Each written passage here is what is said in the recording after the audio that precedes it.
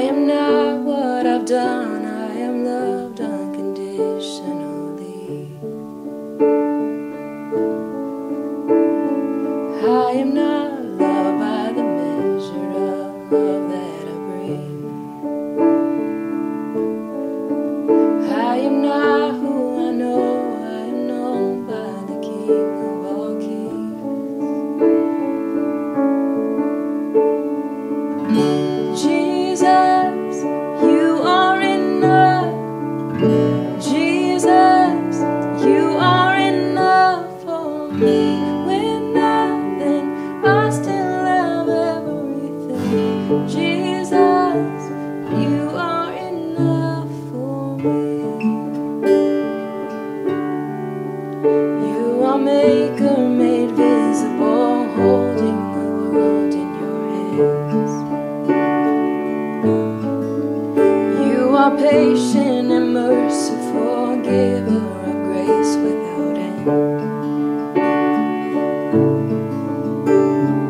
satisfied simply by being who you always